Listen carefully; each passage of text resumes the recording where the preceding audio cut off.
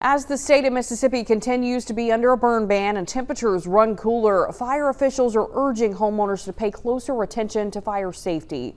Harper Robinson reports.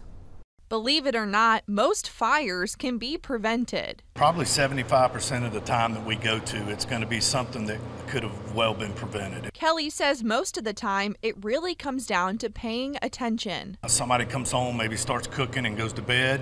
Uh, they're tired, you know, or if they uh, light a candle and forget about it. Although sensitive smoke detectors can be annoying, Kelly says one way to prevent a fire is regularly changing your smoke detector batteries. We want you to check them twice a year.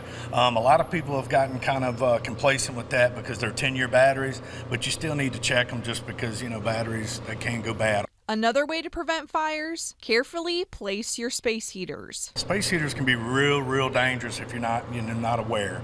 Um, you know, don't put them next to drapes or next to uh, a couch that'll burn. You know, try to leave about three feet away from anything around that. As the burn ban continues, Kelly says to remain patient. We just ask that you don't, you know, be a good neighbor uh, because right now it is so dry and, and we do have some rain coming this weekend, but it's going to take more rain than just what we're going to get this weekend. So just be patient with us. It's uh, for the safety of everybody. In Gulfport, Harper Robinson, WLOX News Now.